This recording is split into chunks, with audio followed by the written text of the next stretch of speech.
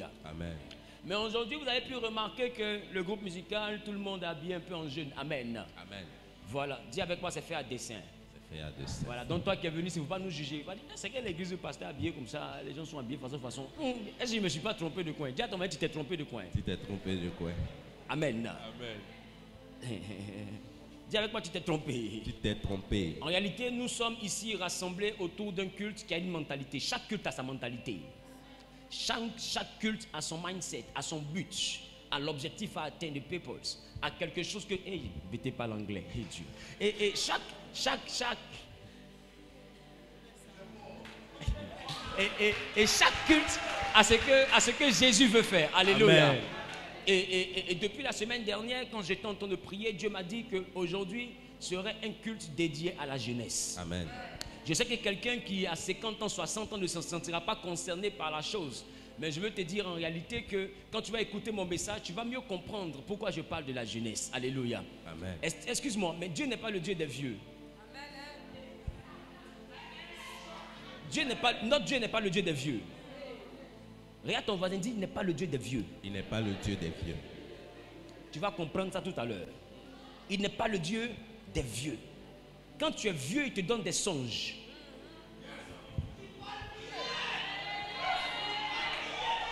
Mais quand tu te sens jeune, il te donne une vision. Dis avec moi, il n'est pas le Dieu des vieux. Il n'est pas le Dieu des vieux. Alors le thème qui nous rassemble en ce jour, c'est ma jeunesse pour le Seigneur. Amen. C'est pourquoi vous me voyez habillé comme ça. C'est pourquoi vous voyez les moments sont habillés en t-shirt, d'autres en polo, jean. Amen. Parce que quand, écoute, Jésus pour moi, ça va au-delà du vêtement. Le vêtement, Amen. en réalité, on ne doit juste pas être dénudé, mais ça ne veut pas dire qu'on doit être vieux jeu. Alléluia. Bref. Allons-y dans le livre de Jérémie chapitre 1, s'il vous plaît. On va aller très vite, ça sera accéléré. Jérémie Pardon. chapitre 1. On lit à partir du verset 3, s'il vous plaît. Jérémie 1, 3. Je vais honorer tous ceux qui n'ont pas de handicap à bien vouloir se tenir debout. Je vais leur demander de se tenir debout, s'il vous plaît, afin que nous puissions lire Jérémie chapitre 1 à partir du verset 3 jusqu'au verset 6. Que dit la parole de Dieu? Et au temps de Joachim, Au temps de Joachim, fils de Josias, fils de Josias, roi de Juda, roi de Juda, jusqu'à la fin de la onzième année de Jus- Sécédias, jusqu'à la fin de la onzième année de Sélésias, fils de Josias, roi de Juda, jusqu'à l'époque où Jérusalem fut emmenée en captivité au cinquième mois. La parole de l'Éternel me fut adressée en ces mots.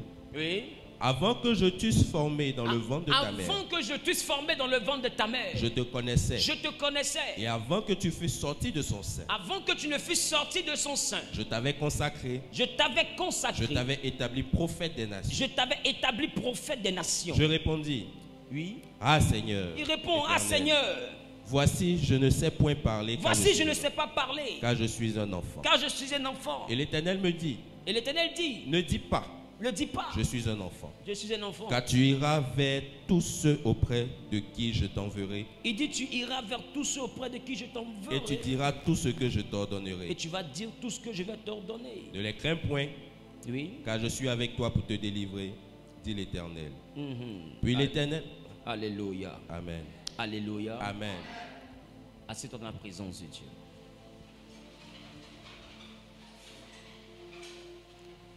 Bien-aimé, je veux vraiment que tu aies de quoi noter, s'il te plaît. La Bible dit, la Bible dit que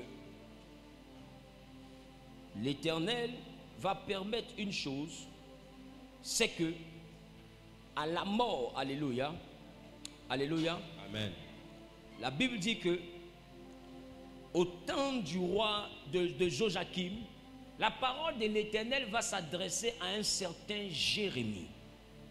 Et la Bible dit que ce, jeune homme, ce, ce jeune homme qui avait réellement une existence ordinaire, va être réellement abordé par l'Éternel. Et l'Éternel va lui dire que depuis le ventre de sa mère, il le connaissait. Depuis le sein de sa mère, avant qu'il ne soit formé, il le connaissait. Mais avant qu'il ne sorte du sein maternel, il avait consacré. Et j'ai eu déjà à vous enseigner ici que dans le ventre de la mère, il y a une consécration. La consécration ne se fait pas dans le ciel, ni dans la présence de Dieu là-bas, mais la consécration pour la destinée se fait dans le sein maternel. il y a quelque chose qui se passe dans le ventre de la mère. Il dit, avant le ventre de la mère, la seule chose que lui sait, c'est que lui te connaissait. Mais quand tu es dans le ventre de ta mère, avant de sortir du sein maternel, il te consacre pour la destinée à laquelle il t'a appelé. Quelqu'un me comprend un peu? Mais c'est un message que j'ai déjà donné ici. Alléluia. Vous pouvez aller sur YouTube pour avoir euh, euh, ce genre de, de, de, message. Alléluia. Amen. Mais ici, je vais parler de Jérémie. Quelqu'un dit Jérémie. Jérémie. La Bible dit que ce Jérémie là en question, quand Dieu lui dit ça, qu'avant le sein maternel, il le connaissait, qu'avant qu'il sorte du sein de sa mère, il avait consacré en tant que prophète. La Bible dit Jérémie va trouver une réponse à donner à Dieu. Jérémie va dire, je ne sais pas parler car je suis un enfant. Et, la Bible dit là-dessus, Dieu va lui dire, non, ne dis pas que tu es un enfant, parce que ma parole est dans ta bouche. Alléluia. Ne dis pas que tu es un enfant, parce que ma parole est dans ta bouche. Et tu iras, et tu iras et tu parleras à tous ceux vers qui je vais t'envoyer. Alléluia. Amen. Mais ici, quand on parle d'enfant, euh, nous parlons de Naha. Naha qui parle également de, de petit. Naha qui parle de incapacité. Naha qui parle de, de, de euh, euh, euh, quelqu'un dit incapacité. Incapacité. De celui qui ne sait pas parler. Mais on comprend mieux dans la version grecque qui parle de infaris. In qui veut dire privé, faris qui veut dire parler. Donc ça veut dire qu'en réalité, un, enfant, c'est celui qui est privé de parler, celui qui n'a pas droit à la parole. C'est pourquoi Jérémie dit à l'Éternel, je ne, sais pas parler.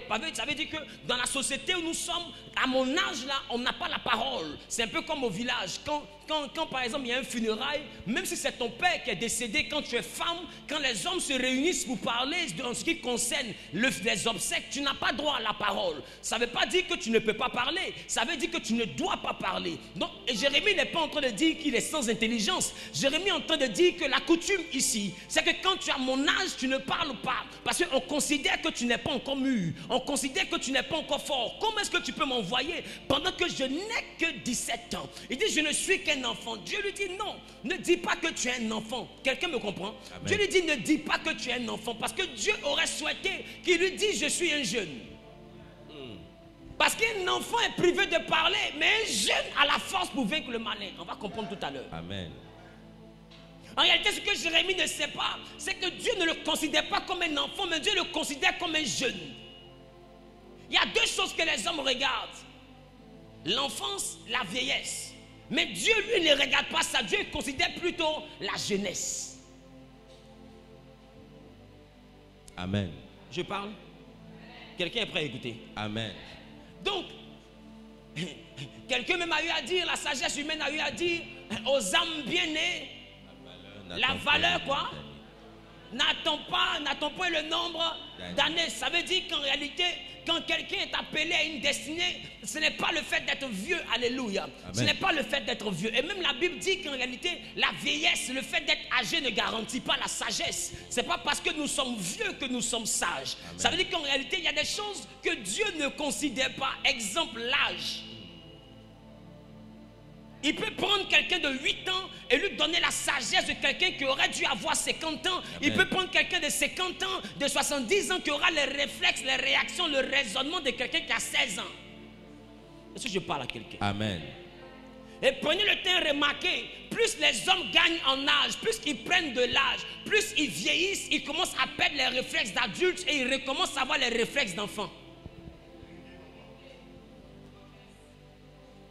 Ça veut dire qu'en réalité, nous naissons, quand on vient sur la terre, on est enfant, plus on grandit, on devient jeune. Le temps de la jeunesse est la dimension où on arrive à faire des choses avec Dieu. Et quand on devient vieux, il nous ramène à la dimension d'enfant. Pourquoi? Parce que c'est par la dimension d'enfant nous sommes rentrés sur la terre, c'est par la dimension d'enfant nous devons ressortir de la terre. Amen. Donc ça veut dire que pour vivre sur la terre, c'est la dimension de la jeunesse. La terre a besoin des jeunes. Amen. Quelqu'un dit la terre a besoin des jeunes. La terre a besoin. La terre a besoin des jeunes. Alléluia. Amen. Donc, quand on parle de jeunesse, on ne parle pas des enfants.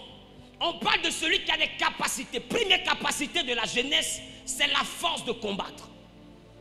Dites-moi la force de combattre. La force de combattre. Nous sommes dans un monde, je vous l'ai dit, qui appartient à la jeunesse. Allons-y dans le livre de 1 Jean, 1 Jean le chapitre 2, le verset 14. 1 Jean le chapitre 2, le verset 14. Oui. Je vous ai écrit. Je vous ai écrit. Père. Père. Parce que vous avez connu celui qui est dès le commencement. Vous avez connu celui qui est dès le commencement. Je vous ai écrit, jeunes gens, Je vous ai écrit, jeunes gens, parce que vous êtes forts. parce que vous êtes forts. Quelqu'un dit quand tu es jeune, tu es fort. Quand tu es jeune, tu es fort. Non, ça veut dire que la force selon Dieu n'appartient pas au Père. Amen. La force selon Dieu appartient aux jeunes gens. Amen. Avec moi, la force La force, selon Dieu selon Dieu, appartient aux jeunes gens. appartient aux jeunes. La Bible dit, quand Samson va perdre la présence de Dieu, quand Samson va perdre l'alliance avec Dieu, quand Samson va avoir les yeux crevés, la Bible dit pour réussir son dernier exploit, Samson ne va pas s'appuyer sur le Saint-Esprit, mais Samson va s'appuyer sur un homme. Je vais dire à ceux aujourd'hui qui sont des pères et même des patriarches, il dit, vous avez connu celui qui est dès le commencement. Ça veut dire que vous êtes resté intègre. Mais il y a un niveau où les patriarches doivent s'appuyer sur les jeunes pour bâtir l'avenir. Amen. On le veut, on ne le veut pas. Aujourd'hui, dans le corps de Christ, nous sommes en crise parce qu'il y a une guerre de succession. Nous voyons des pères qui n'acceptent pas l'ascension des fils. Amen. Je suis en train de dire à quelqu'un, les jeunes gens sont forts, mais les pères ont connu le Père. Yes. C'est pourquoi les pères doivent enseigner le Père aux jeunes gens pour qu'ils prennent leur force pour annoncer le Père. Amen. Je vais annoncer à quelqu'un qui est en train de m'écouter, le réveil ne viendra jamais si les pères ne font pas confiance en la force des jeunes.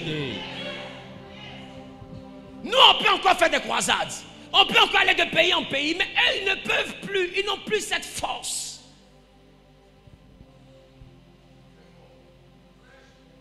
Il dit, je vous écris, jeunes gens, parce que vous, vous avez vaincu le malin, mais surtout vous êtes forts. Si tu n'as pas la force de la jeunesse, la vie va te rendre dingue. Aujourd'hui sur Terre, il y a une maladie qui n'est pas liée à un microbe ni à un virus qui fatigue tout le monde. Ça s'appelle la dépression. Pourquoi dépression? La dépression, en réalité, c'est la conséquence directe d'une pression qu'on n'arrive pas à gérer. C'est-à-dire que tu n'arrives pas à te ménager. Regarde la vie. Tu n'as même pas encore fini de payer le loyer. Tu penses que tu vas te reposer net dans le 22.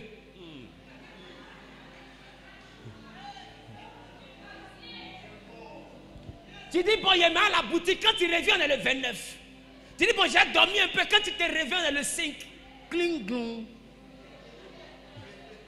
Et, et tu vis avec un stress continuel. Tu vis avec une lutte permanente. Pourquoi? Parce qu'en réalité, tu as besoin d'une vigueur pour supporter ce rythme-là. La vie appartient aux jeunes. Je suis en train de dire à quelqu'un qui est en train de m'écouter, si dans ta jeunesse tu ne travailles pas avec ta tête, dans ta vieillesse tu vas travailler avec tes muscles.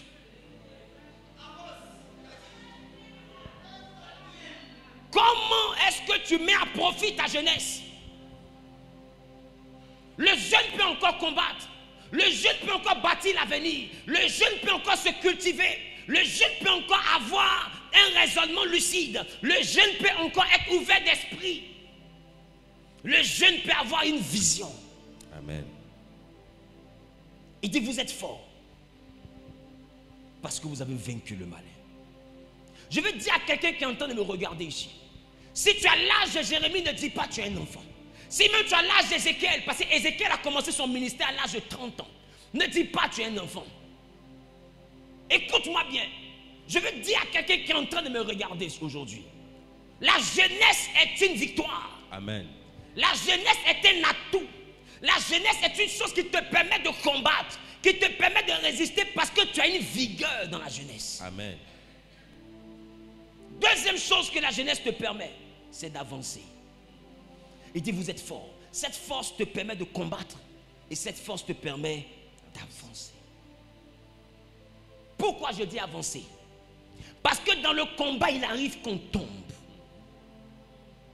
Dis avec moi, c'est l'art de la guerre. L'art de la guerre. Dans le combat, il arrive que tu tombes. Financièrement parlant, professionnellement parlant, à tout, à tout niveau de ta vie, même sentimentalement parlant, il peut arriver que tu trébuches, il peut arriver que tu tombes, mais même quand tu tombes, que tu as été vaincu, il faut savoir battre en retraite, mais pas pour abandonner, pour réfléchir à comment revenir dans la bataille. Amen. Celui qui a la jeunesse et la mentalité de la jeunesse est fort. Fort dans ses muscles, mais surtout fort dans son mental.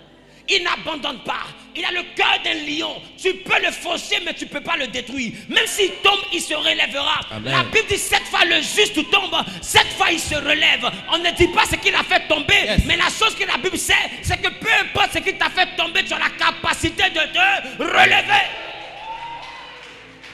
Ne regarde pas tes défaites. Ne regarde pas ce qui t'a fait échouer. J'ai envie de te dire, l'é- l'échec est une opportunité que Dieu te donne pour recommencer intelligemment. Je reprends. L'échec est une opportunité que Dieu te donne pour recommencer intelligemment. En réalité, l'échec est consommé quand tu arrêtes d'essayer. Amen. Tant que tu essaies, tu n'as pas encore échoué. Tu es en train d'apprendre. Tu es en train d'apprendre que j'aurais dû faire comme ça, j'aurais dû faire comme ci, j'aurais dû faire comme ça. Et puis un matin, tu réussis. Écoute-moi. Ne regarde pas le temps que tu perds. Regarde tout ce que tu apprends. Amen. Dans la vie, on ne perd jamais. Soit on gagne ou on apprend. Et un jeune a cette mentalité. Ne te décourage jamais. Même si tu frappes à des portes, que ces portes ne s'ouvrent pas, est la persévérance d'un jeune. Le jeune ne se résigne pas. Parce que j'ai envie de te dire, nous sommes dans un monde où chacun a ses problèmes. Qui va laisser ses problèmes pour se concentrer sur tes problèmes? J'ai tendance à dire à chaque fois que celui qui porte son- sa culotte déchirée, c'est lui qui sait vers quel côté le vent le souffle. Amen. Qui peut expliquer ton problème mieux que toi-même? Qui peut décrire tes nuits blanches mieux que toi-même? C'est vrai, tu pleures. Dis à ton voisin, pleure. Pleure. Tu sais, émotionnellement, il y a des choses qu'on libère quand on pleure. Est-ce que je parle à quelqu'un? Amen. Il y a des choses qu'on libère quand on pleure. Pleurer là, c'est humain. La Bible dit il y a un temps pour tout. Et le temps pour tout là, l'Ecclésiaste a défini, il y a un temps pour rire. Il y a un temps pour pleurer. Quand le temps de pleurer arrive, ne te fais pas les durs. Pleure. Dis avec moi, c'est le temps de pleurer. C'est le temps de pleurer. Ou on veut te consoler, tu ne me consoles pas, va payer lotus. Dis pour lotus. Parce que c'est le temps de pleurer. Il peut te voir pleurer. Il aura l'impression que tu abandonnes. Il dit non, ne te décourage pas. Qui t'a dit que je pleure parce que je me décourage? Je pleure parce que je veux me vider pour recommencer encore. Yes. Parce que je n'abandonnerai pas. Je ne délaisserai pas. Amen. Je pleure mais j'avance. Yes. Je pleure mais j'évolue. Yes. Je pleure mais je continue. Je pleure mais je force. Je pleure mais je frappe. Jusqu'à ce que la porte s'ouvre. Amen. N'abandonne pas. Si personne ne réussit dans la famille, ça c'est le problème. Mais toi, tu vas y arriver parce que tu as la mentalité de la jeunesse. Amen. Ce que ton père n'a pas pu faire, tu le feras. Yes. Ce que ta mère n'a pas pu faire, tu le feras. Amen. Tu réussiras là où ils ont échoué. Parce que jeunes gens, vous êtes forts. Vous avez vaincu le malin.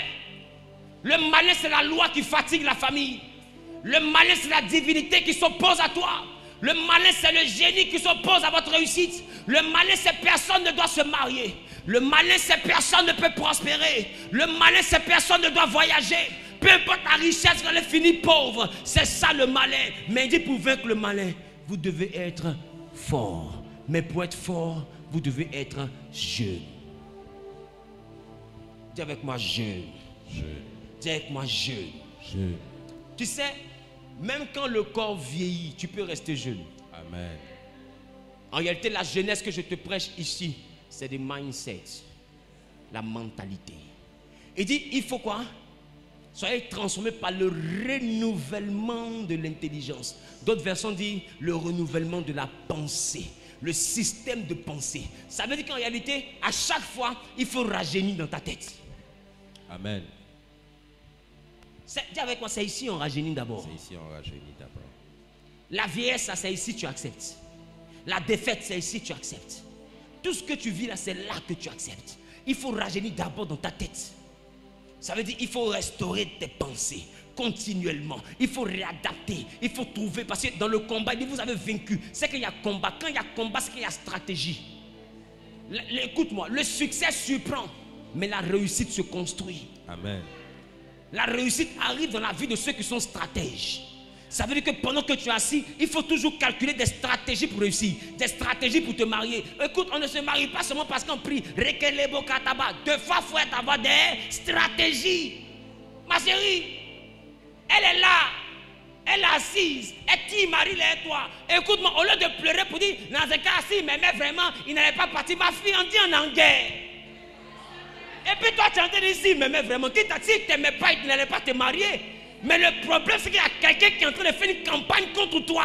Donc, ce que tu dois faire, tu dois te lever avec une nouvelle stratégie pour faucher l'ennemi. Oh, il ne faut pas pleurer. Il faut trouver la stratégie. Dis avec quoi le mindset. Le mindset. Et toi, tu pries seulement. Qui t'a dit en prie seulement? Aïe. Sarah était là. Elle a vu que Agar commençait à gagner du terrain. Elle s'est levée et dit Hé, Abraham, il faut choisir. Parce qu'elle sait que les deux sont quittés loin et il y a une promesse qui les lie les deux. Dieu a dit à Abraham, pendant qu'Abraham disait que Ismaël vit dans ta face, il dit non, c'est l'enfant de Sarah. Donc Abraham sait que dans sa promesse, Sarah est une personne stratégique. Donc Sarah mais on lui dit, puisqu'elle connaît l'importance de sa présence, elle dit choisis entre moi et puis Agar. Il dit, mais bébé, c'est quel choix tu me demandes de faire? Tu sais que tu es stratégique. Elle dit, bon, si c'est stratégique, chasse-la. C'est soit elle ou ta promesse. La Bible dit il avait mal. Mais il a quand même dit à Agar, va-t'en. Ça veut dire que si Sarah n'avait pas utilisé l'arme de combat, Agar allait prendre sa place. Vérité. Je suis en train de te dire, c'est pas dans tout on prie. Tu commences à voir que quelqu'un te fait la concurrence dans tes activités? Arrête seulement de prier. Assieds-toi et réfléchis à une stratégie. La Bible dit que pendant que Esaü allait travailler dans les champs, Jacob était tranquille sous les tentes et il méditait. Un homme qui médite, c'est quelqu'un qui cherche des chemins. Il ne travaille pas avec les muscles, mais il travaille avec son mindset. Il yes. travaille avec son intelligence. Oh, yes. Donc il ne fait pas les choses bêtement. Il s'assoit, il réfléchit avant de faire. Donc Jacob était un homme de stratégie. C'est pas partout on réussit avec, avec la prière. Il y a des moments où tu dois avoir la stratégie. Tu dois avoir la méthode. Même Dieu pour triompher dans le combat, il s'est déguisé en homme. C'est la stratégie. Dieu dans le combat, il s'est déguisé en homme. Dis avec moi la stratégie? La stratégie. Ruth la Moabite, pour être l'épouse de Boaz, la bite que Ruth la Moabite s'est couchée au pied de Boaz. Quand elle rencontre? Naomi, Naomi lui dit Va, quand il dort, couche-toi à ses pieds et puis soulève le drap sur ses pieds. Il fait froid. Quand le froid va le taper, au milieu de la nuit, il va se lever. Il va te voir. Ma fille, il y a une seule phrase, tu dois lui dire Ne retiens pas ta main.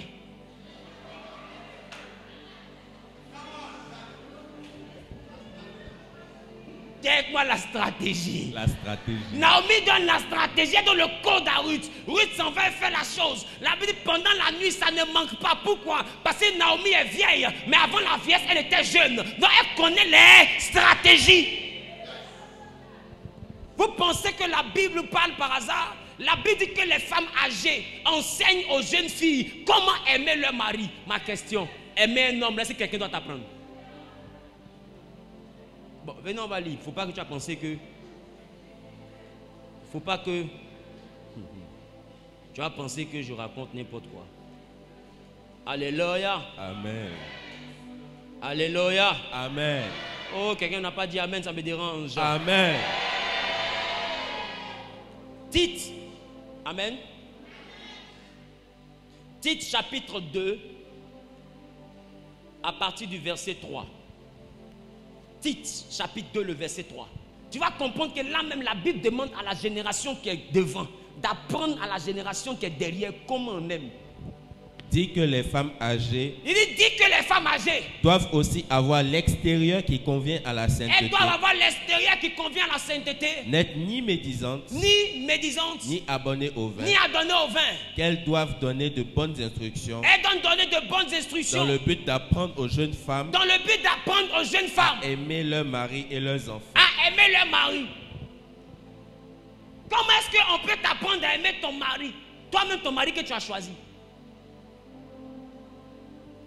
La Bible dit que c'est les femmes âgées qui doivent apprendre aux jeunes femmes Écoute, il y a une complémentarité entre les vieux et les jeunes qui ne doit pas changer. Oh yes. Les jeunes sont sur le terrain et le mari, mais les vieux doivent apprendre aux jeunes comment on aime le mari. Oh, souvenez-vous, l'épouse c'est Christ. Nous, nous sommes l'épouse. Donc, quand les jeunes sont en train de travailler avec le mari qui est Christ, c'est les vieux qui doivent leur expliquer comment on fait. C'est pourquoi un jeune sans père n'a pas de repère. Et celui qui n'a pas de repère se perd. Dans tous les domaines où tu veux réussir, il faut comprendre qu'il y a quelqu'un de plus âgé qui doit t'apprendre comment on aime, ou bien comment on investit, ou bien comment on gère une entreprise, ou bien comment est-ce qu'on évolue. Il y a quelqu'un qui doit t'apprendre. Tu ne peux pas avoir de grandes stratégies si tu n'as pas quelqu'un qui t'apprend. Naomi était une femme qui avait de l'expérience. Elle dit à Ruth, voilà comment tu dois faire. Quand Boaz se réveille avec le froid, il regarde Ruth comme ça. Il dit, maman, si elle fait ça le soir là, il ne serait pas, il serait pas à l'aise. Je veux faire ça, mais avec une manière, il faut d'abord que tu m'appartiennes. Ah! Demain matin, je vais te présenter à tout le monde. Tous ceux qui ont droit de rachat sur toi. Si personne ne te veut, je t'épouse. Il n'y a pas eu demoiselle, s'il vous plaît.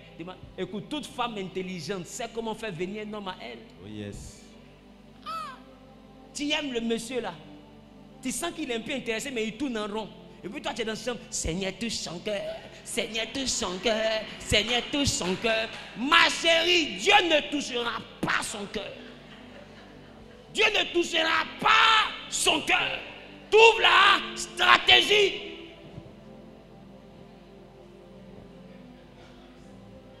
De toutes les manières, les hommes sont des arbres et les femmes sont des fleurs. Hey.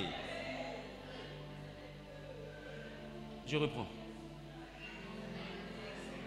Les hommes sont des arbres et les femmes sont des fleurs.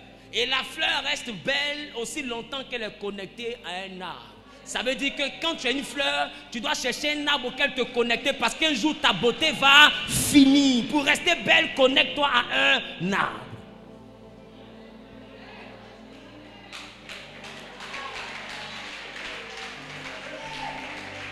Donc tu ne dois pas dire je suis belle, j'ai le temps. Ma chérie, utilise ta beauté comme une stratégie dans le combat pour te connecter à un arbre le plus vite possible. Ne dis pas j'ai le temps, je ne suis pas pressé pour me marier. La Bible dit la beauté est vaine et la grâce est trompeuse. Écoute-moi bien, la grâce de ta beauté est en train de te tromper. Les voitures qui garent sont en train de te tromper. Tu n'as pas remarqué quelle façon ils garent. C'est comme ça ils démarrent. Tu vas rester dans ça. Un matin, tu vas te réveiller. Tu as 50 ans. L'homme se marie quand il veut. La femme se marie quand elle peut.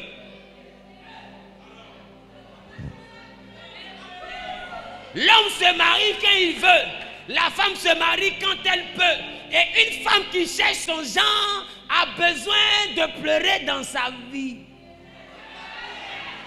Une femme, j'ai envie de te dire, la logique de la Bible, c'est pas que la femme cherche son genre. La logique de la Bible, c'est que la femme cherche celui qui l'aime comme Christ a aimé l'Église. C'est ce que la Bible dit. Femme, ne recherche pas celui qui a tablette de chocolat. Ne recherche pas celui qui a un joli visage. Ne recherche pas celui qui est frais. De toute façon, il est frais là. C'est pas toi ce que tu l'as vu. Et puis de deux, est-ce que tu es le genre de celui qui est ton genre? Ah. C'est ça aussi qui est le problème. Est-ce que tu es le genre de celui qui est ton genre? Dis avec moi, c'est là, là le gourmet commence.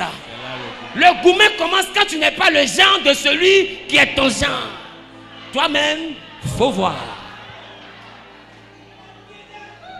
Pendant que toi tu cherches ton genre, il y a quelqu'un qui t'appelle, tu ne décroches pas. Il est prêt à tout pour toi, tu ne veux pas. Il se met à genoux, tu ne veux pas. Il pleure, tu ne veux pas. Tu dis non, il est trop gros, il est trop bizarre. Ma chérie, tablette de chocolat, on va à l'hôtel, hein, mais Nutella, on va à la mairie. Je veux dire à quelqu'un qui est en train de m'écouter, l'éternel doit te faire changer de stratégie. Quelqu'un dit yes. Yes. Utilise ta jeunesse pour te marier.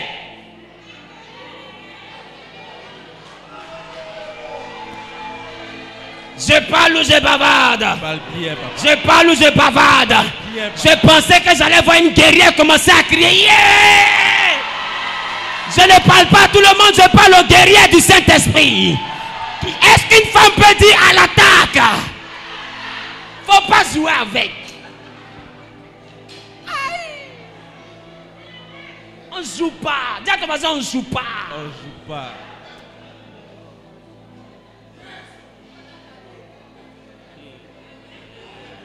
On joue pas. Le gars là, il t'a marié, à un moment donné, il commence à ne plus trop t'aimer. Il faut le basser. Dis avec moi, c'est écrit. C'est écrit. La Bible dit que Esther a perdu la faveur du roi. Son roi ne l'aimait plus comme avant.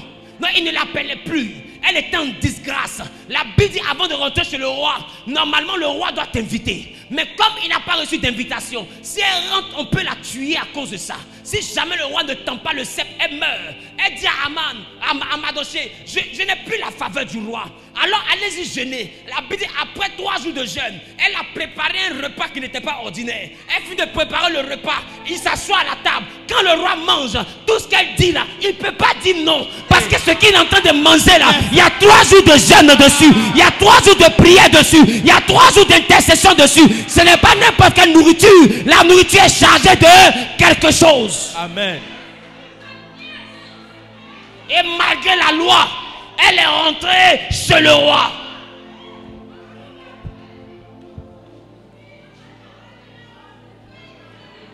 Dis avec moi la stratégie. La stratégie. Je déclare, je décrète et je prophétise. Oh yes.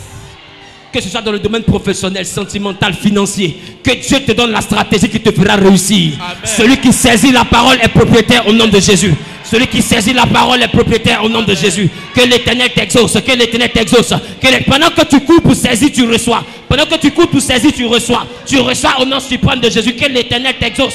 Que l'éternel t'exauce au nom suprême de. Quelqu'un a dit yes. Quelqu'un a dit. Yes. Quelqu'un a dit yes. Au nom suprême de Jésus. Je suis en train de voir quelqu'un que- à qui Dieu donne la victoire Amen. dans tous les domaines et compartiments de sa vie. Amen. Au nom suprême de. Quelqu'un a dit yes. Yes. Quelqu'un a dit yes. Yes. Quelqu'un a dit yes. Yes. Là où tes parents ont échoué, Amen. toi tu réussiras. Là où tes parents sont tombés, toi tu réussiras. Là où les autres ont pleuré avant la fin de cette année, toi tu te mettras à rire parce que l'éternel utilise ta jeunesse pour se glorifier.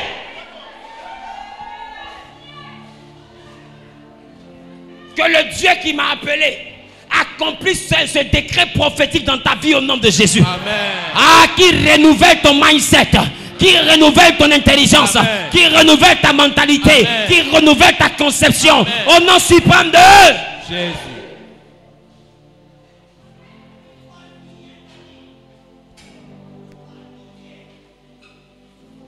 La jeunesse te donne une autre capacité. Première capacité, combattre. Deuxième capacité, avancer. Troisième capacité, être convaincu que rien n'est fini. En réalité, celui qui a la mentalité de vieux, c'est celui qui dit tout est fini pour moi. Parce qu'en réalité, tant qu'il y a la vie, il y a de l'espoir. C'est pourquoi remarquez, non, vous ne pouvez pas le remarquer parce que c'est moi souvent qui le reçois.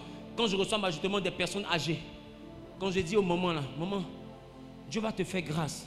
Elle dit, mon fils, je suis déjà vieux. Faut prier pour mes filles. Je suis déjà vieille plutôt. Il faut prier pour mes filles. Elles n'ont qu'à se marier. Pour moi, c'est plus grave. Pourquoi? Parce qu'en tant que vieille personne, elle se dit que c'est fini pour elle. C'est fini, là. C'est la mentalité de la vieillesse. Et malheureusement, il y a des personnes dans la maison de Dieu qui ont encore la mentalité de la vieillesse. Ils se disent que c'est fini. Qui t'a dit que c'est fini? Tu te comportes comme Adam et Ève. Ils disent à Dieu on est nu. Qui t'a appris que tu es nu Tu dis à Dieu il n'y a plus rien pour, toi- il y a plus rien pour moi comme exploit. Qui t'a appris qu'il n'y a rien pour toi comme exploit Il y a toujours de l'espoir.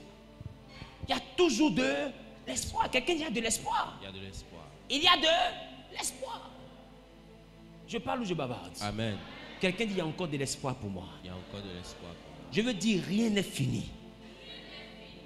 Ne laisse pas le découragement te ralentir. Si tu es tombé, relève-toi et avance. J'ai dit, même si tu es tombé dans le péché, ne laisse pas le regard des gens te ralentir. Nous sommes à l'église pour avoir une relation avec Dieu, pas une relation avec les hommes. Donc même si tu es tombé dans le péché, que tout Abidjan connaît ton péché, relève-toi, répands-toi et continue ta marche chrétienne. Il n'y a personne sur la terre qui est digne de te juger. Il n'y a personne qui est digne de t'indexer. Ceux qui te montrent du doigt, là, en réalité, eux-mêmes, ils ne se connaissent pas. Eux-mêmes, là, ils ne se connaissent pas. S'ils se connaissaient, ils n'allaient pas te montrer du doigt. Alors, je veux te dire, la vie chrétienne, c'est une relation avec Dieu, pas une relation avec les hommes. Même moi-même, si tu as fait quelque chose de négatif, n'aie pas peur de mon regard. Je ne suis pas Dieu. Je ne suis que celui qui est là pour t'exhorter afin que tu marches avec Dieu. Je ne suis pas Dieu. Donc moi, je ne peux pas te juger. Je ne peux que te dire, relève-toi, c'est pas grave. Dieu est avec toi, avançons. Un peu, un peu, le Saint-Esprit va t'aider. Ne te complexe pas. Ne te, ne te renie pas toi-même. Ne t'écarte pas toi-même. Ne te disqualifie pas. Ne te décourage pas. Avance avec ton Dieu. Amen. Je parle à quelqu'un. Amen. Dans la jeunesse, il y a beaucoup de choses. Il a dit, jeunes gens, réjouissez-vous durant les jours de la, jeunesse. Marchez sur les plaisirs, les désirs ce monde.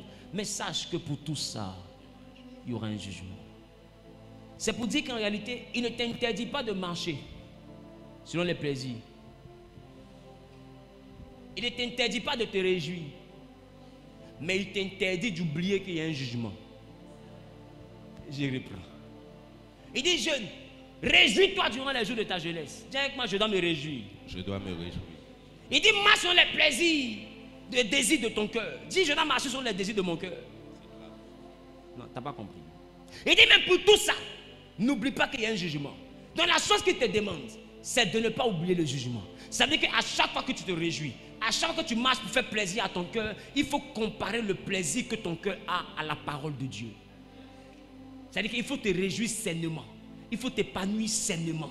Ne te fais pas vieux. Tu rentres à la maison, tu sens église, église, maison, maison, travail. Le soir, prière, prière, maison, maison, église, église, travail. Le soir, prière.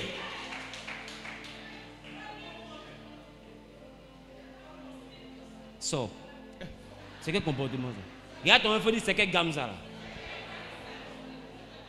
On dirait les vieux blancs, les vieux blancs qui ont cheveux blancs, ils sont un peu chauds, vieux, toujours au jardin en train de piquer fleurs. Ça, c'est le comportement des vieux. Je parle ou je bavarde? Amen. Amen. Parle bien. Être chrétien ne signifie pas rester à la maison enfermé. Amen. Tu vois, les chrétiens disent non, il faut aller un peu à la plage à Sini, Sirène des eaux est là-bas. Non, il faut sortir un peu aller au restaurant, c'est le monde. On dit, venez, venez, c'est pas bon. Cinéma, non, il y a le péché là-bas. De toute façon, c'est noir là, c'est les esprits de, de noirceur. Écoute, ah Il y a quoi? Il faut vivre. Au ciel, il n'y a pas restaurant. Au ciel, là, écoute, au ciel, il n'y a pas voiture. Au ciel, il n'y a pas plage. La sirène des eaux, elle est beaucoup plus à Coco Vico qu'à Bassam. Tu veux savoir la, la sirène des eaux est où? Elle est à Trashville, Belleville. Elle est assise là-bas. Elle a quitté Bassam. Allez-y un peu à la plage avec ton fiancé, avec ton mari. Allez-y regarder la mer. Tu fais chérie et puis lance un peu sable sur toi. Eh bébé, bébé, puis dis à ton voisin, c'est chic. En quoi tu as péché? Ah, En quoi tu as péché? Dis à ton voisin, il faut vivre. faut vivre. Dieu a permis que tu viennes sur la terre, c'est pour vivre. Mais vivre dans sa volonté. Ne n'oublie pas, quand tu t'amuses là, que tu es un Dieu. C'est-à-dire quoi, ne sois pas ivrogne, ne deviens pas drogué, ne deviens pas prostitué, ne deviens pas quelqu'un qui me comprend un peu? Il y a des limites dans ton, dans ton divertissement que tu ne dois pas franchir. Mais ça ne veut pas dire que tu ne dois pas te, te- te- te divertir. Soyons jeunes, les gars. Amen.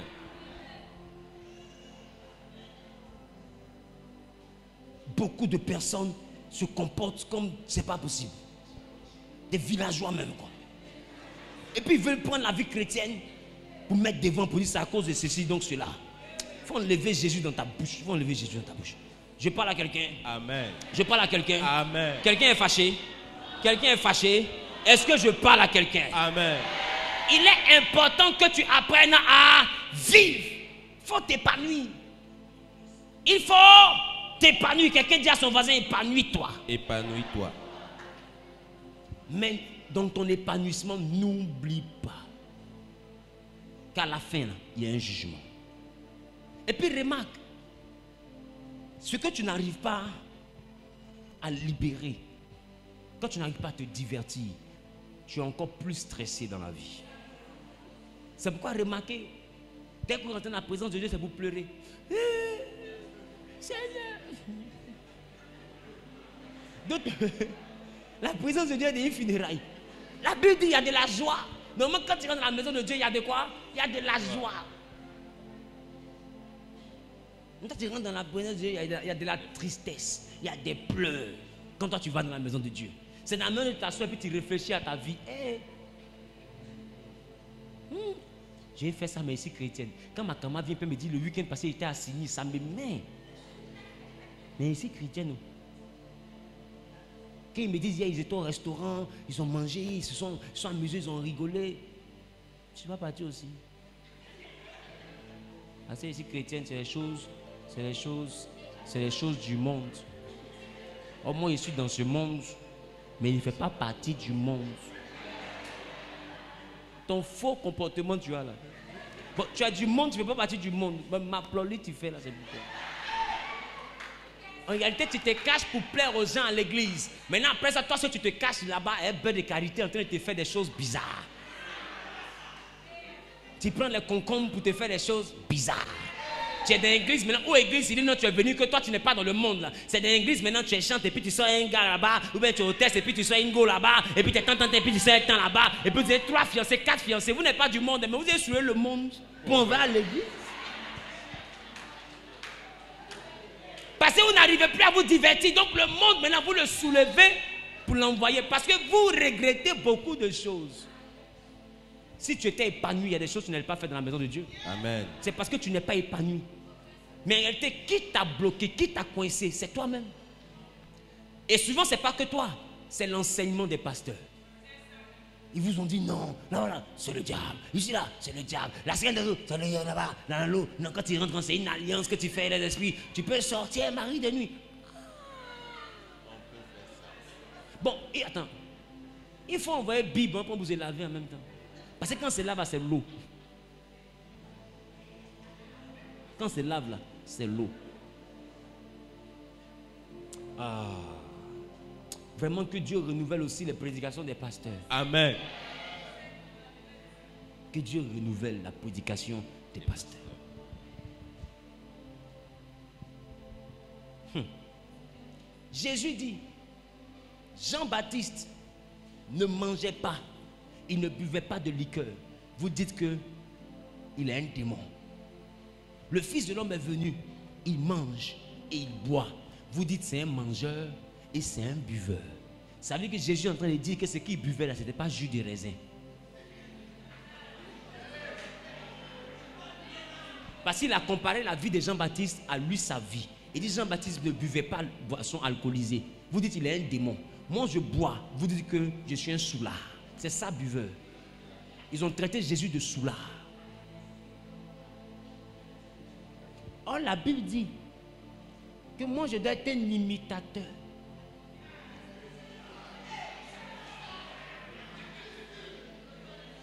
De Jésus. Alors qui suis-je Pour ne pas boire ce que Jésus a bu? Qui suis-je? Je boirai. Mais la chose que la Bible dit, quand tu fais quelque chose qui te réjouit, n'oublie pas qu'il y a un jugement. Non, il faut savoir quelle est la limite à ne pas dépasser. Alors la Bible dit, l'ivrognerie est un péché, l'ivresse est un péché. Donc même si tu as pris quelque chose, arrange-toi, prépare qu'on te retrouve dans le caniveau.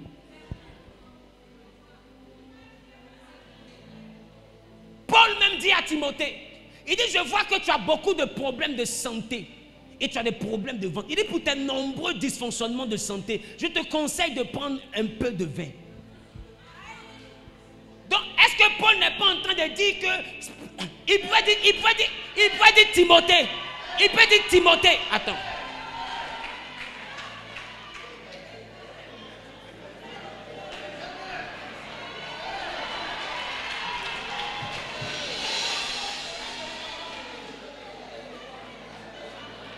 Venez, on va lire. 1 Timothée chapitre 5, le verset 23. Laissez les enfants vivre. 1, Timothée chapitre 5, le verset 23. Ne continue pas à ne boire que de l'eau, Il dit ne continue pas à boire l'eau seulement. mais fais Attends, usage. attends. Paul dit, Timothée, faut arrêter de boire l'eau seulement. Ça veut dire que l'eau seulement que tu bois là, ça te rend malade. Il dit arrête de boire l'eau seulement. Il dit Mais fais usage d'un peu de usage vin d'un peu de vin. Oui, à cause de ton estomac à cause de ton et estomac tes fréquentes indispositions. et des fréquentes indispositions. Indisposition, c'est l'étymologie dit de tes fréquentes maladies. Il dit, puisque tu es beaucoup malade, arrête de boire que de l'eau. Alors ma question, Paul dit à Timothée, pendant que Paul impose les mains aux malades et puis les malades sont guéris, il dit, maladie tu as là.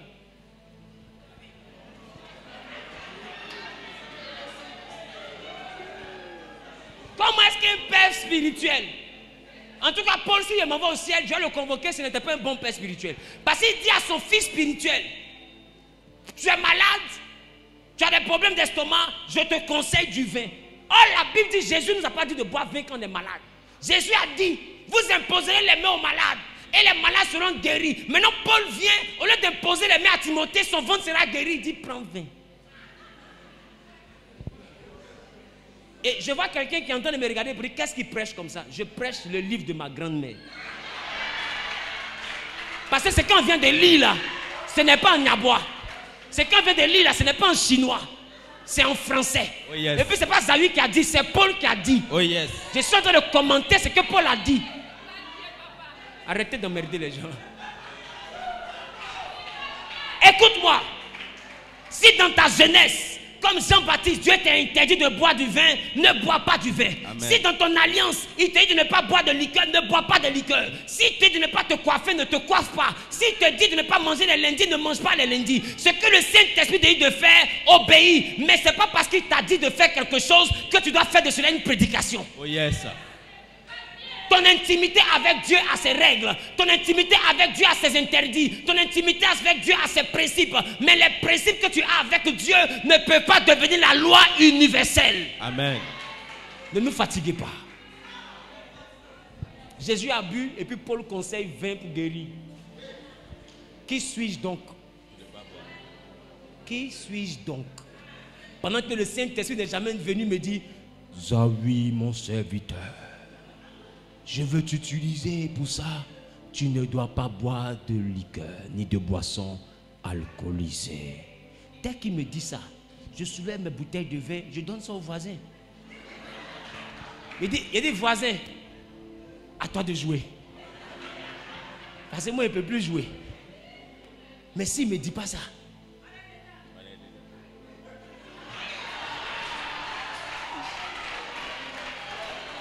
mais la chose qu'il dit, il ne faut pas y faire, il dit, il ne faut pas y être saoulé. C'est-à-dire, il est bon et comme ça. C'est pourquoi vous voyez que Paul a précisé à Timothée, il dit, fais usage d'un peu. Un peu, dis avec moi, un peu. Un peu. C'est là, là qui est important. Parce que beaucoup sont jeunes et ont ces problèmes-là. Donc d'autres se cachent pour boire. La Bible ne t'interdit pas de boire. Mais la Bible dit un peu. Quelqu'un dit un peu. Un peu. Ça veut dire que tu ne peux pas être chrétien et puis tu bois, on te retrouve en train de vomir dans les toilettes. On te retrouve en train de dormir sur banc. On te retrouve, tu es couché, un pied dans le caniveau, l'autre pied sur le goudron. Dis à ton voisin, ça ce n'est pas digne d'un enfant de Dieu. Ça, c'est pas digne d'un enfant. Jésus a utilisé, mais on n'a jamais vu Jésus ivre.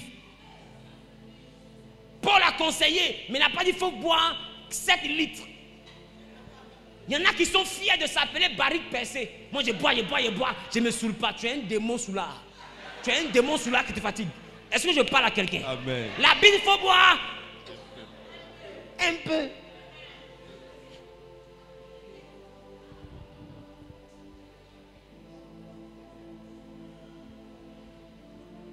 Est-ce que vous savez que le vin, principalement le, le vin rouge, à un moment donné, a des, a des vertus qui rajeunissent les cellules? Oh yes. Donc quand quelqu'un prend de l'âge, un peu de vin même à sa table est conseillé. Vérité.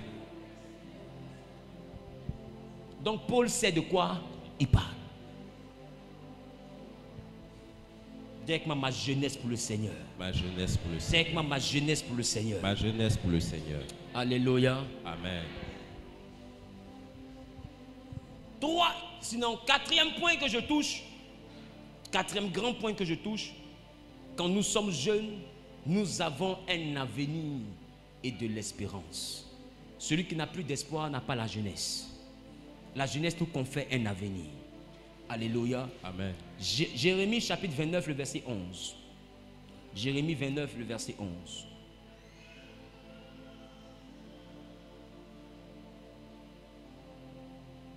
Car je connais les projets que j'ai formés pour vous, dit Il dit, je connais les projets que j'ai formés pour vous Projets de paix et non de malheur, Projets de paix et non de malheur. afin de vous donner un avenir et Afin de vous donner un avenir et de l'espérance. et de l'espérance. La Bible dit en Genèse 12, le verset 4, que Abraham avait 75 ans quand il est sorti de sa localité. Alléluia. Il avait 75 ans quand Dieu lui a dit sors de la maison de ton père. 75 ans. Il dit, il connaît les projets qu'il a formés. Ce sont des projets de paix, non de malheur, afin qu'on ait un avenir. Le vieillard n'a pas d'avenir. Le vieillard a des souvenirs. Donc quand Dieu te dit que lui, ses projets, c'est pour ton avenir, c'est que lui ne considère pas la vieillesse. Lui considère ta jeunesse. Et Abraham avait 75 ans. Quand Dieu lui dit, je te bénirai. Comme on peut parler au futur à quelqu'un qui a 75 ans, c'est pour lui dire que malgré que tu as 75 ans, tu as encore un futur. Je suis venu dire à quelqu'un, ne regarde pas ton âge, ne regarde pas ton extrait de naissance, ne regarde pas tes 60 ans, mais tes 50 ans d'âge pour penser qu'il n'y a plus d'avenir pour toi. Tant que tu viens à l'église, comprends que c'est parce qu'il y a un avenir. Parce que les projets de Dieu, c'est pour ceux qui ont un avenir. Amen. Il dit, afin que tu aies un avenir. Si tu ne penses pas que tu as un avenir, c'est que tu n'as pas la peine de prier Dieu. Amen. Parce que quand tu pries l'éternel, il a des projets pour toi. Ces projets concernent ton avenir. Dis avec moi, j'ai un avenir. J'ai un avenir.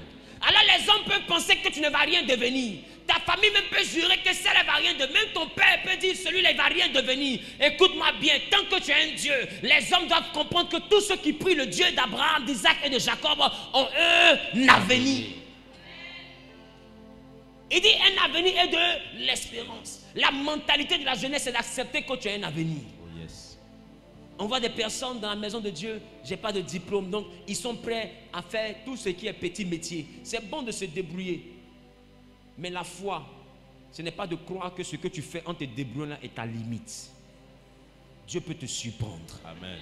Tu peux ne pas avoir de diplôme. Dieu peut disposer quelqu'un qui va te bénir. Toi-même, tu seras choqué. Amen. Tu peux, écoute-moi, tu peux avoir même ne pas avoir d'entreprise ni de travail. Dieu peut te connecter à quelqu'un qui va changer le cours de ton histoire. Amen. Écoute-moi bien, quand Dieu rentre dans la vie de quelqu'un, c'est que cette personne a un avenir. Et la chose qui me plaît, c'est que la Bible dit que personne ne peut venir à l'éternel si lui ne l'a pas appelé. Or, il dit que quand lui t'appelle, il connaît les projets qu'il a pour toi. C'est parce qu'il a un avenir pour toi. Non, si tu as 70 ans qu'il t'appelle, c'est qu'il y a un avenir qu'il a pour toi. Il faut lui demander, mais Seigneur, qu'est-ce que tu veux faire pour moi? Donamé, qu'est-ce que tu veux faire pour moi? Parce que si toi, tu m'as appelé, c'est que tu as des projets. Or, tes projets ne concernent pas mon présent.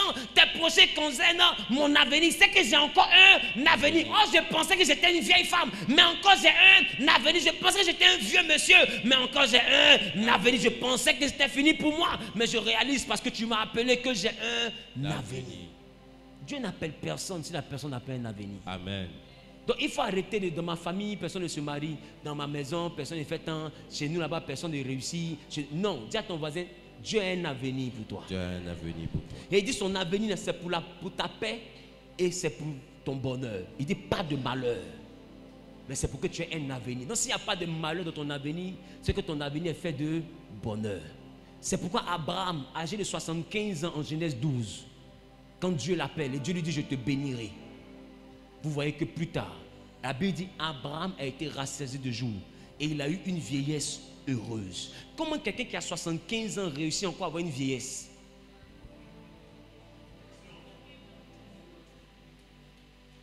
Et regarde, c'est Abraham qui est le père de la foi pour nous.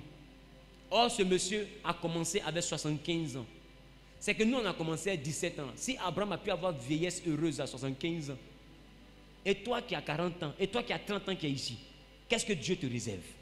S'il a pu rendre Abraham, qui était déjà vieux, quelqu'un qui avait un avenir, jusqu'à il a eu vieillesse.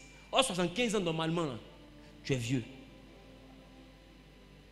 Mais et toi, tu n'as que 28 ans. Et toi, tu n'as que 25 ans. Et toi, tu n'as que 48 ans. Et toi, tu n'as que 50 ans. Pourquoi tu dis que tu ne peux même plus enfanter? Qui t'a dit que tu ne peux pas enfanter? C'est la médecine Il a demandé à Adam et Ève, qui vous a appris que vous êtes nus? Quand nous sommes chrétiens, on se cultive, mais on ne croit pas en la culture.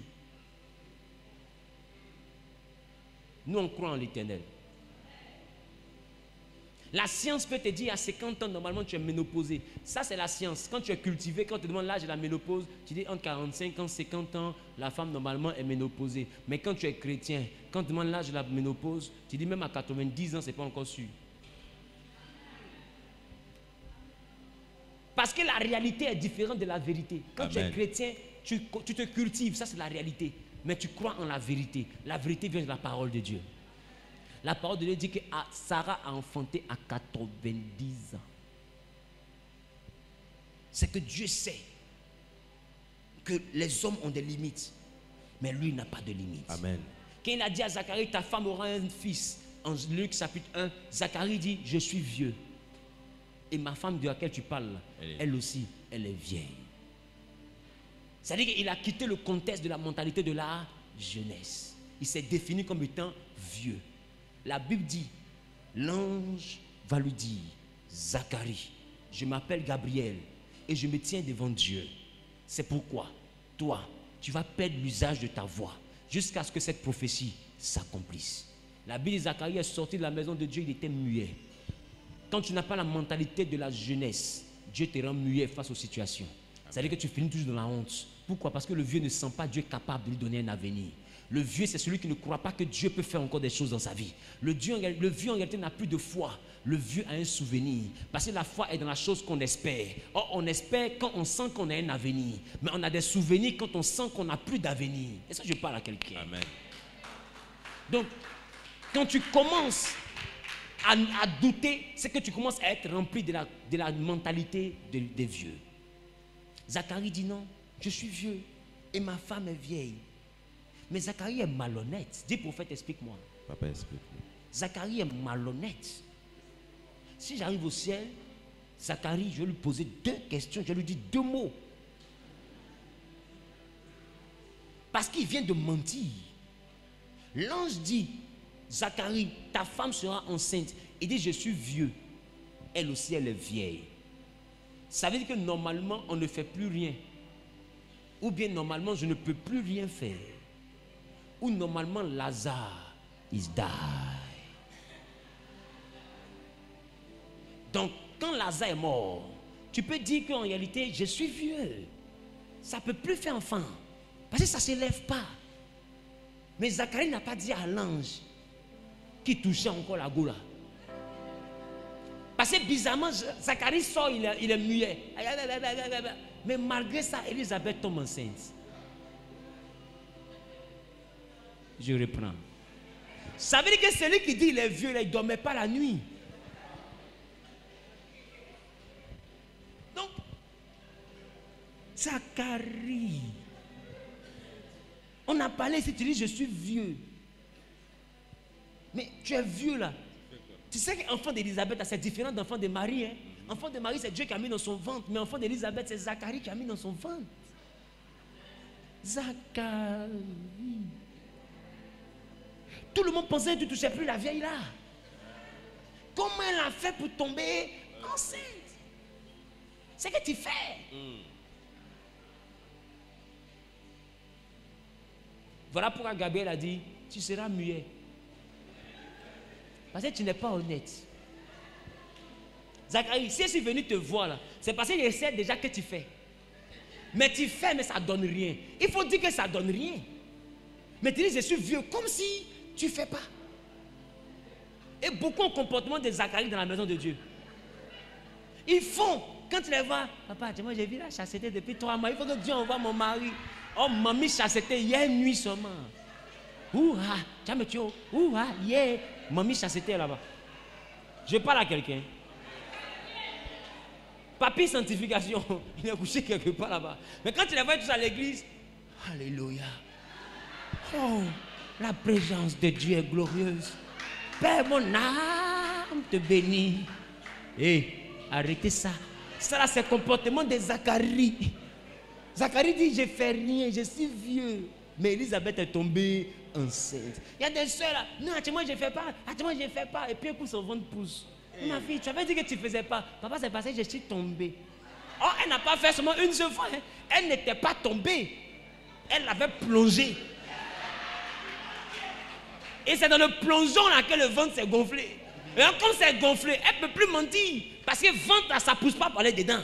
Ça pousse par les dehors. Donc une fois que ça pousse, elle a oublié d'avouer son péché. L'église est remplie de Zacharie. C'est pourquoi souvenez-vous, c'est dans la présence de Dieu, dans le lieu saint, que Zacharie avait menti. Il dit, je suis vieux, je ne fais rien. Je ne fais rien. Et le mot fait rien. On est vieux, rien, j'ai qu'une force. Mais ils sont, ils s'en fait. Et puis ça collait, poum. C'est pourquoi il y a des gens qui pensent qu'ils se comportent comme les saints. Eux, ils passent le temps à juger. Et ceux-là, ils vivent dans le péché. Elle, ne vit pas dans le péché. Quand tu as quitté ça, se coller, poum. Tu parles bien, papa. Il parle bien, non? Tu parles bien, papa.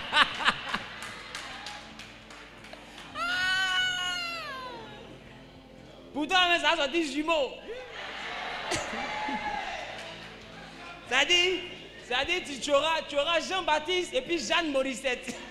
Les deux sont voilà. Maman, maman dit, oh, plutôt là-bas. Tu sais, toutes les filles du village peuvent dire qu'elles sont, elles sont encore pucelles. La chose qui démontre qu'elle n'est plus pucelle, c'est une grossesse. Vérité. Aussi longtemps qu'elle n'a pas de grossesse, elle peut même te dire, je ne connais pas d'homme. Tu vérifies comment?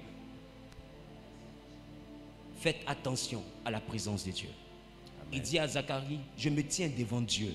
Ça veut dire que ce que tu fais là, nous on est en haut là-bas et puis on voit. C'est pour dire que dans la jeunesse, il faut être sincère avec Dieu. Amen. Il faut être vrai avec Dieu. Il faut être juste avec Dieu. Amen.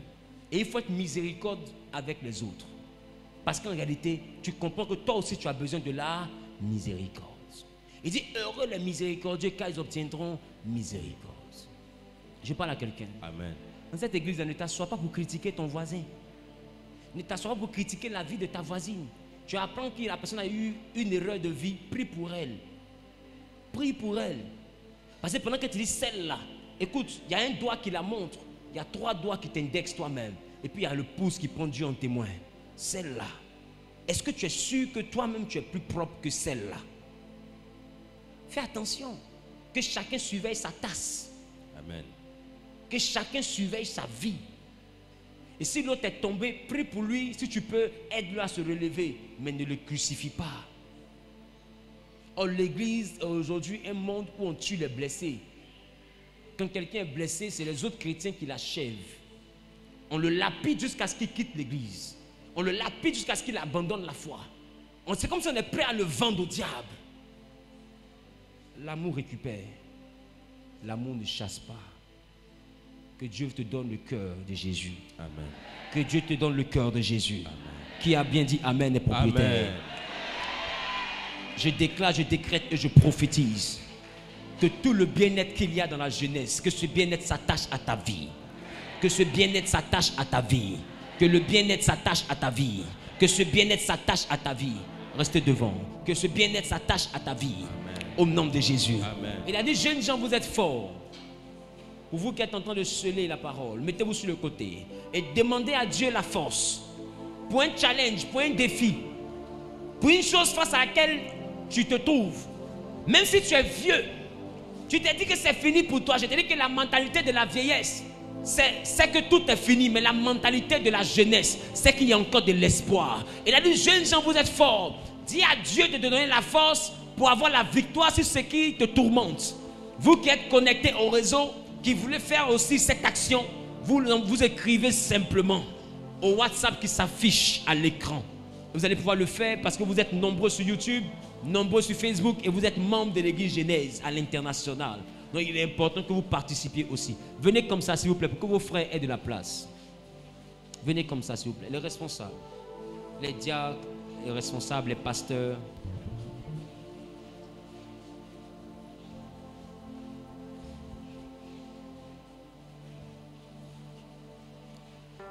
De gloire en gloire, de gloire en gloire, tu m'emmènes, tu m'emmènes. Dans les profondeurs de ta sainteté, tu m'emmènes. Tu m'emmènes plus haut. Demande à Dieu la force qui te permettra d'aller plus haut, de réussir les challenges. Même si tu es à ta place, tiens-toi debout et prie avec nous. Demande à Dieu la force, que ce soit dans ton commerce, dans ton ministère, qui te donne la force de la jeunesse, l'intelligence de la jeunesse, la vision de la jeunesse. Il dit vos vieillards auront des songes, mais vos jeunes auront des visions. Qui te donne la vision, qui te donne la projection du futur, qui te donne de croire en l'avenir. Et lève la et commence à parler à Dieu. Des fois, tu es découragé, tu n'as plus d'espoir, tu n'as personne sur qui compter, tu es désespéré. Demande à Dieu de donner la force. Allez plus haut. Allez plus haut. Allez plus haut. Plus haut.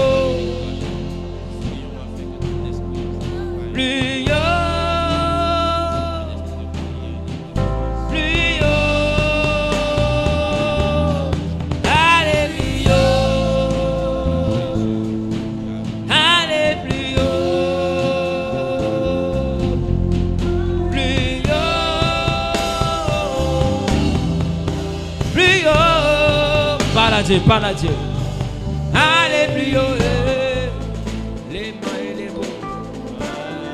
d'Abraham, d'Isaac et de Jacob, je te recommande la vie de ton peuple. Je prie par ta grâce et pour ta gloire.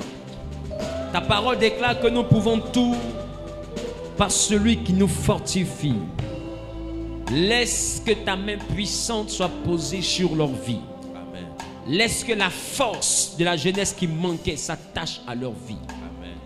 Laisse que Dieu de gloire, de grâce et de bonté, que leur pas soit fortifié, que leur mentalité soit restaurée et renouvelée. Amen. Glorifie-toi dans leur vie afin que leur vie te glorifie. Merci pour ta grâce, merci pour ta faveur. Au nom de Jésus-Christ, j'ai prié. Amen. Amen. Amen. Amen. Amen. Amen. Que Dieu vous bénisse.